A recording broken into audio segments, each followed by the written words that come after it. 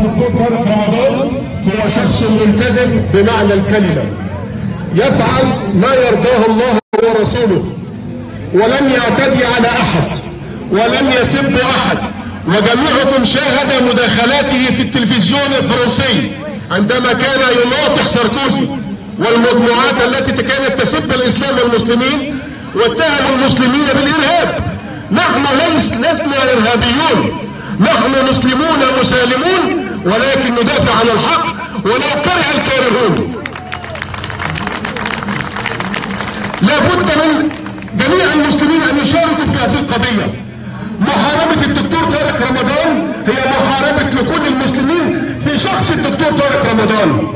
من ممكن يتخيل أن هذا الرجل يتحرش بامرأة؟ من؟ من؟ هل هناك عاقل يقول أن الدكتور طارق رمضان يتحرش بامرأة كانت في يوم من الأيام؟ كما يقولون للأسف تنتمي إلى التيار السلفي. ثم تنقلب 180 درجة.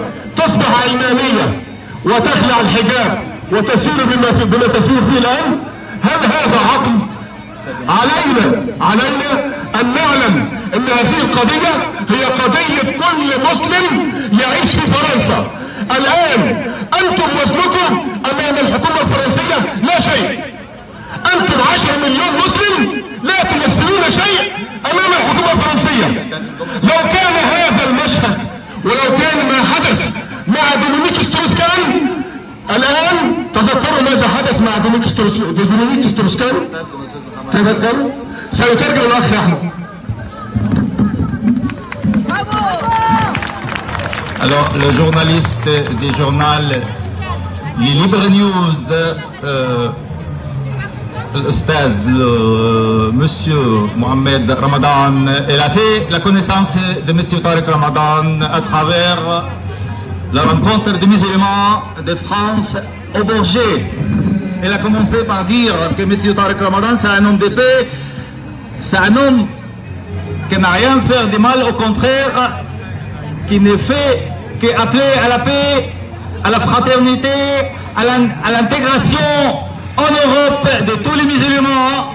En plus, euh, Monsieur Mohamed Ramadan, il s'adresse à nous, musulmans, à vous, à tout le monde en France, de prendre la responsabilité, de défendre un grand penseur, Tariq Ramadan, qui a toujours défendu la paix, l'intégration des musulmans, qui était le trait d'union entre les musulmans en Europe et entre l'Europe, Monsieur Tariq Ramadan. الرسالة التي أوجهها اليوم وأنا حزين تتذكرون بعد أيام سيكون هناك لقاء في لبورجيه السؤال أين منظمة الاتحاد الإسلامي في فرنسا؟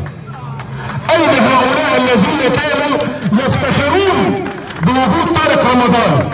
أين هم الآن؟ هذا الاجتماع الذي كان يحدث في لبورجيه على مدار ثلاثة أيام كانوا يفتخرون بوجود الدكتور طارق رمضان في محادثاته وفي خطبه أين هم؟ لماذا يقفون هذا الموقف السلبي من هذا الرجل؟ نريد أن نعرف هذا السؤال Monsieur Ramadan s'adresse à l'UF en posant la question Où sommes-nous de ce qui se passe au professeur Tarek Ramadan Les organisations musulmanes, les imams de France, l'U- l'Union des organisations des musulmans de France. Et se demandent, monsieur Ramadan, où sont-ils?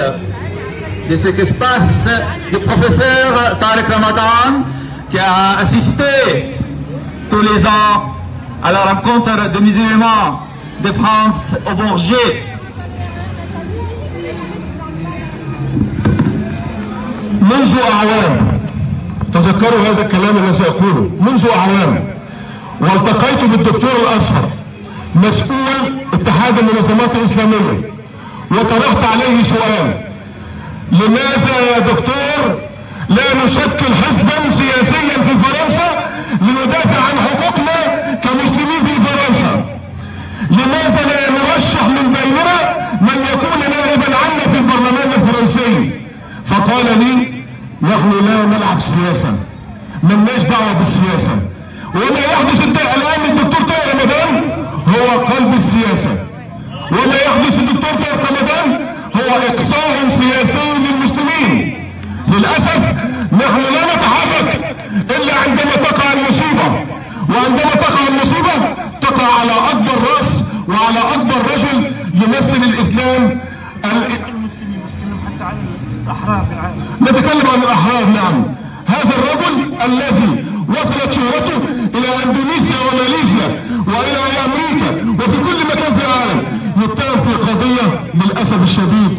أقول إنها قضية سياسية مئة في المئة ولا يوجد إنسان عاقل يتخيل إن هذا الرجل يقوم بهذا الفعل المشين ومن هنا أوجه كلامي لكل الإخوة الحاضرين. أقول لكم اعلموا أن الحرب على الإسلام مستمرة. اعلموا إنكم إن لم تأخذوا بالأسباب سنضيع. ولن تكون لنا قائمة في أوروبا ولا في أي مكان في العالم. اعلموا هذا الكلام جيدا. إن لم تتحدوا وتكونوا على قلب رجل واحد لن يكون لكم مكان في العالم. وشكرا لكم. وأسف على الإطالة. Je traduis un peu ce que je peux. au nom des musulmans et non musulmans, au nom des Européens et non Européens. Monsieur Tariq Ramadan, quand il écrit, quand il intervient au débat et autres, il parle pas au nom des musulmans seulement, mais il parle au nom des Européens, il parle au nom de l'humanité, il parle au nom de tout le monde. Monsieur Ramadan, notre journaliste, il demande à tout le monde,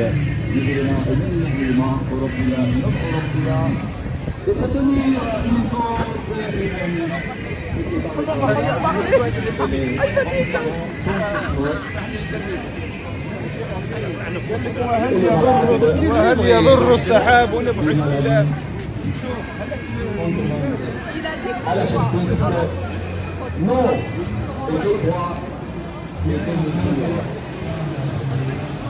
Nous sommes tous par le Ramadan. Nous sommes tous par le Ramadan.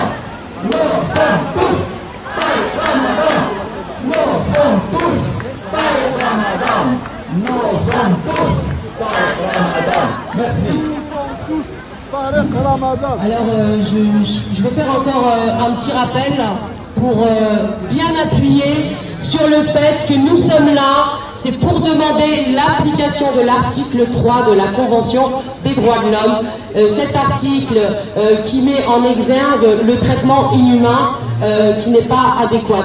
C'est-à-dire que là, les souffrances de M. Tariq Ramadan par rapport à sa maladie, les, comment je les, lésions qui sont causées, eh ben, ça peut être apparenté, c'est apparenté à un, une torture. Donc, sa détention n'est pas adéquate à son état de santé. Nous, ce qu'on veut, c'est qu'il soit libéré le plus vite possible.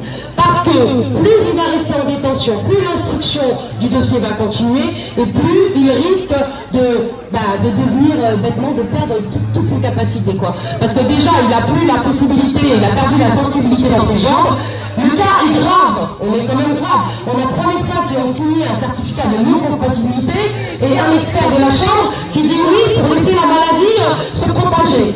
Donc, nous on est là pour ça, pour le respect de la, de la présomption d'innocence. Je tiens à le répéter parce que c'est notre message et les collusions, les collusions qu'on voit un peu partout.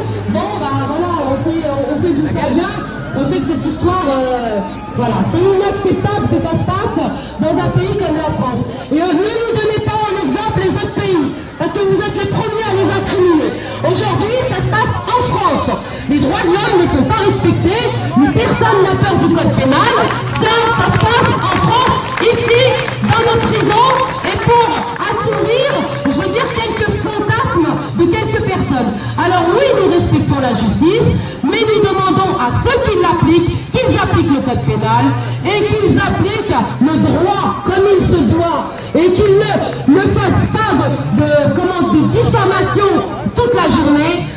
les médias. Et on est aussi venu dénoncer le silence des médias par rapport à cette affaire gravissime, parce que là, on, on participe quand même à la détérioration de la santé et peut-être à l'assassinat d'une personne. Oui, je le dis fort, oui, oui, je le dis, et c'est ce qui se passe. Donc, euh, nous demandons que l'article 3 de la Convention des droits de l'homme soit appliqué. Voilà. Et on exige sa libération. Il va y avoir des lectures maintenant, des lectures de chapitres. Voilà, on va y arriver. hein.